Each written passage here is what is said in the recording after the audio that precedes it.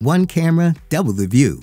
The 4K dual lens Wi Fi camera features two professional grade lenses contained within one camera housing. Here is the view of a single camera. Now look in comparison the 4K dual lens. The scene extends with double the view, allowing you to cover more ground with a single camera.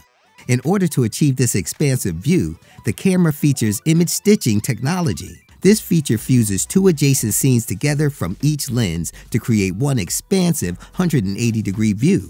This may result in a slight curvature, but this supports more coverage and increases the accuracy of the motion detection, such as person, vehicle, animal, and package detection.